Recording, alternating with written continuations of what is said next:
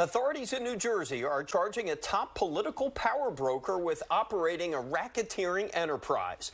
The New Jersey Attorney General says George Norcross threatened and extorted businesses with properties along the Camden waterfront and obtained tax incentive credits, which he and his co-defendants then sold for millions of dollars. Our Steve Keeley is breaking down today's indictment that's rocked the New Jersey political landscape. Steve? Well, this has been a long-time investigation resulting in today's unsealing of the big-time indictment involving what you're seeing here right across the Delaware River. The Camden waterfront development that's been going on for the past 12 years. 111 pages detail racketeering, recorded phone calls, and six prominent people now facing multiple criminal charges. The six referred to by the New Jersey Attorney General as the Norcross Enterprise. The Norcross Enterprise took the Camden waterfront all for themselves. As George Norcross himself allegedly said, quote, this is for our friends. The announcement of charges was staggering, but so was the sight of George Norcross right there in the first seat in the first row, attending the news conference in Trenton, announcing his own criminal charges. As he sat just feet away from the Attorney General, as Matt Platkin outlined the case against him. The Norcross Enterprise used its power and influence over government officials to craft legislation tailored to serve the interests of the Norcross enterprise.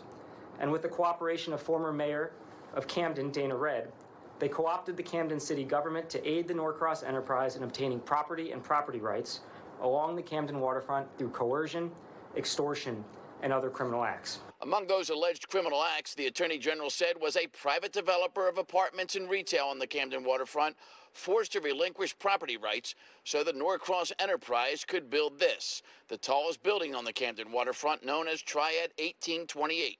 The center now the headquarters of companies run by three of the men charged today.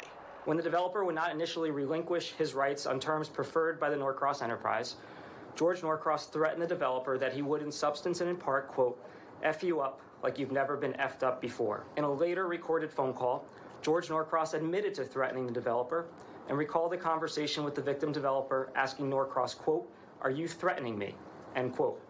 To which George Norcross responded, quote, absolutely. The state alleges that George Norcross has been running a criminal enterprise in the state for at least the last 12 years.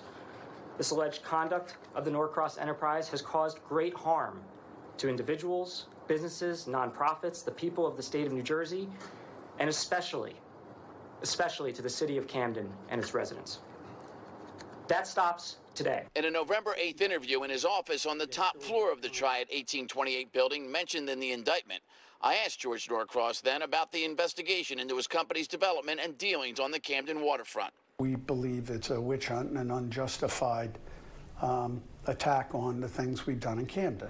Now, my partners and I have invested $300 million of our own money here in Camden.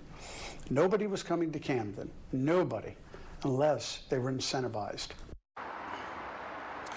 Well, the former Camden mayor, Dana Redd, was surprised by today's legal action. Her lawyer said in a statement she's done nothing wrong.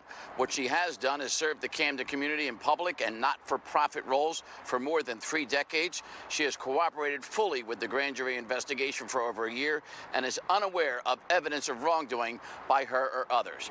This 111 page indictment, Chris and Sheba, is really fascinating reading. And there are plenty of, quote, unindicted co conspirators. And tonight, the guessing game are what prominent names are behind the unindicted co-conspirators, since Mr. Norcross was connected to quite a few powerful people himself. All right, Steve, thank you.